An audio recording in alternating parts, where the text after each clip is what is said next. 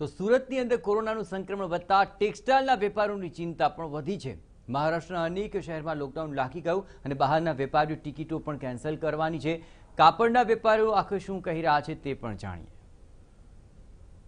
ગુજરાતમાં ફરી એકવાર કોરોનાએ દસ્તક દીધી છે. સુરતમાં પણ રોજના સરેરાશ હવે બસો જેટલા કેસો છે આવતા થઈ ગયા છે, જેની સૌથી મોટી અસર હવે ધીરે ધીરે સુરતના કાપડ ઉદ્યોગ પર પણ દેખાવા લાગી છે. કાપડ ઉદ્યોગ જે છે કોરોનાને કારણે અત્યારે ફરી એકવાર ચિંતામાં મુકાયો છે. આપણી સાથે વાત કરવા માટે પોસ્ટાના કેટલાક ડિરેક્ટર છે, વેપારીઓ છે. એમની સાથે વાત કરીને જાણવ- જાણવાનો પ્રયત્ન કરીશું કે કોરોના હવે જ્યારે ફરી માથું ઉચકી રહ્યું છે, કાપડ ઉદ્યોગમાં કઈ રીતની ચિંતા જોવા મળી છે? તમારી પાસે જાણવા માંગીશ કે અત્યારે કઈ રીતનો માહોલ જોવા મળી રહ્યો છે કાપડ? માહોલ તો એવો છે કે કોઈ પેનિક જેવી વાત છે નહીં હજી. પણ જે આપણે સાવધાની નહીં રાખીશું તો પાછી આપણે જે માર્ચ એક પેલું એનિવર્સરી જે આવી ગયું છે પાછી આ તકલીફ થઈ જશે. એને લઈને બધી વસ્તુ આપણે સરકાર પર છોડીએ એના કરતાં આપણે પહેલે કેટલા કેટલી ધ્યાન રાખી શકીએ એ વધારે જરૂર છે. ને પેનિકની જરૂર નથી પણ સાવધાની રાખવાની બહુ જરૂર છે હજી.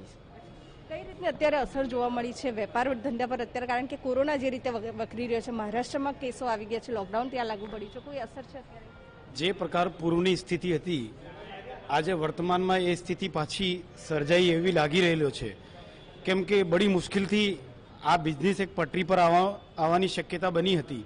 લેકિન આજ પાછો જે મહારાષ્ટ્રની જે ગંભીર પરિસ્થિતિઓ થઈ છે કોરોના બાબત, ઓર પાછા ગુજરાતમાં જેટલા કેસ જોવા મળ્યા છે, એમાં બી સુરત અવ્વલ નંબર પર છે. ઓર સુરત એક ટેક્સટાઇલ સિટી છે. કેટલી મુશ્કેલોથી આ વેપાર વાપીસ એક સ્ટાર્ટિંગ થઈ હતી. લેકિન આ વેપાર સાથે સાથે જે કોરોનાનો ભય જે વ્યાપ્ત થયો છે, એના બહારના વેપારી ઓર આવતી જે સિઝન છે, લગભગ સુરતનું જે વેપાર છે, કપડા ઉદ્યોગનું, ત્રીસથી ચાલીસ ટકાનો વેપાર આ સિઝનમાં થાય છે. તો એનો બહુ મોટો ફટકો પડવાની શક્યતા છે. હું એક- એવું જ કહેવા માગું છું કે આપણે તો સાવધાની રાખીએ જ, પણ સરકારને પણ હું વિનંતી કરું છું કે રાજ્ય સરકારને પણ વિનંતી કરું છું. આવા જેટલા બી જે મોટા ભાગમાં જે અ, લોકો ભેગા થાય એવા જે જે કાર્યક્રમો હોય એના ઉપર દબાણ કરીને એ કાર્યક્રમને નિરસ્ત કરવા જોઈએ એને એનો જાગૃતતા લાવવી જોઈએ બિલકુલ આવી કોઈ પણ આપત્તિ જ્યારે પણ આવે છે ત્યારે સૌથી મોટી અસર સુરતના કાપડ ઉદ્યોગ પર પડે છે આપણી સાથે વાત કરવા માટે પોસ્ટાના ડિરેક્ટર પણ છે એમની સાથે વાત કરીને જાણવાનો પ્રયત્ન કરીશું रंगनाथ जी ये बताइए कि आने वाले दिनों में सीजन भी शुरू हो जा होने जा रही है तो किस तरह असर देखते हो आप? देखिए अभी फिलहाल जो कोरोना का वापस से कहर चालू हुआ है इंडिया में आज कोई भी स्टेट अगर लॉकडाउन होता तो सबसे पहले सूरत कपड़ा बाज़ार पे इफ़ेक्ट होता है। मैं बात कर रहा हूँ सूरत की, जो केस 25-30 आ रहे थे, वो आज 240 के आसपास पहुँच गए। तो ये बहुत चिंतनीय विषय है। लेकिन सूरत में जैसे ही मार्केट का बीच में हल्ला हुआ एसटीसी मार्केट बंद है साई घाटी बंद है आदर्श बंद है, और कल New Bombay market retail market है, वो बंद कराया गया। तो इससे व्यापारियों में एक भय फैल गया है। क्योंकि सामने हमारी जो सीजनें हैं, जैसे तेरह अप्रैल को उगादी सीज़न है, वो पर्टिकुलर कर्नाटक की है। तेरह अप्रैल से ही रमज़ान चालू होता है, वो चौदह मई तक चलता है। उस दिन लोग मतलब नए कपड़े पहनते हैं, जकात के रूप में जो दान करते हैं।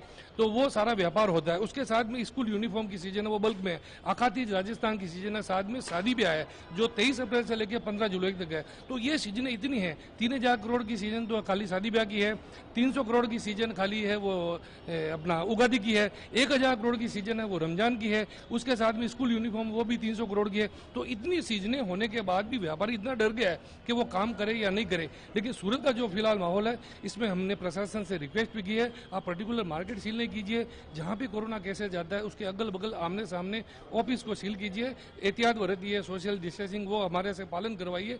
लेकिन कोई ऐसा कदम नहीं उठाए जो पिछली बार जो हमने भुगता है वो वापिस हम नहीं भुगते।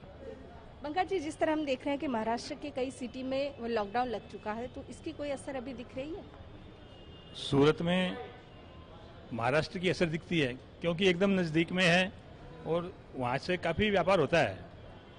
सूरत तो पूरा इफ़ेक्ट इस कल 241 रोगी आए, जो हाईएस्ट हो गए हैं। तो ये इस तरह अगर रोगी आएँगे तो अपने बाहर से आने वाले व्यापारी बंद हो जाएँगे। हमारा आई बिहार का काम है। तो अभी लोगों ने टिकटें करानी कैंसिल आने की कैंसिल शुरू कर दी है। बोले, आएँगे तो फिर लॉकडाउन लग जाएगा। पिछली बार भी बीस मार्च से लगा था तो वो टाइम नज़दीक आ रही है तो लोग 20 मार्च को लेके भी घबरा रहे हैं। व्यापार बहुत प्रभावित हुआ है। पूरे साल का दो महीने में 30 से 40 टका काम होता है मार्च और अप्रैल में।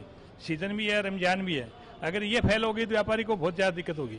तो हमारे को काफ़ी सावधानी बरतनी होगी और गवर्नमेंट को भी सावधानी बरतनी पड़ेगी। हर साल यहाँ मार्केट में होली फागोत्सव का उत्सव मनाया जाता है लेकिन इस प्र, इस बार जो कोरोना का कहर देखने को मिल रहा है क्या व्यापारी तैयार है या फिर वो भी कैंसिल रखने वाले हैं? देखिए अभी फ़िलहाल ऐसा कोई प्रोग्राम लगने रखने जैसा मेरे को लग नहीं रहा है कि कोई आ, कोई आयोजन किया जाएगा और रखना भी नहीं चाहिए। हाल की जो परिस्थिति है उसको देखते हुए नहीं रखना चाहिए। लोगों को सावधानी बरतनी चाहिए। लोगों इसका कम से कम लोगों को एक साथ में इकट्ठा होना चाहिए। अगर हम ये करेंगे तभी हम वापस लॉकडाउन नहीं होगा ऐसा हम लोगों को लगता है। यदि लॉकडाउन हो गया तो फिर व्यापार को बहुत ज़्यादा नुकसान होगा। जो पिछले साल की जो नुकसान हम अभी भी उसकी भरपाई कर रहे हैं ऐसे में एक और लॉकडाउन हम कोई भी कोई भी व्यापारी नहीं चाहेगा। આપણે જોઈ શકીએ છીએ કે વેપારીઓમાં અત્યારે ચિંતાની સાથે એક ઉછાટનો માહોલ ચોક્કસથી જણાઈ રહ્યો છે, કારણ કે લોકડાઉનમાંથી માંડ માંડ જે આર્થિક કપરી પરિસ્થિતિમાંથી સુરતનો કાપડ ઉદ્યોગ બહાર આવ્યો છે, પરંતુ શહેરમાં જે રીતે કોરોનાના કેસો ફરી એકવાર વધી રહ્યા છે, તેને જોતા સુરતના કાપડ વેપારીઓ અત્યારે ચિંતામાં મુકાઈ ગયા છે. કેમેરામેન સલીમ શેખ સાથે પારુલ મહાડિક ટીવી નાઇન સુરત.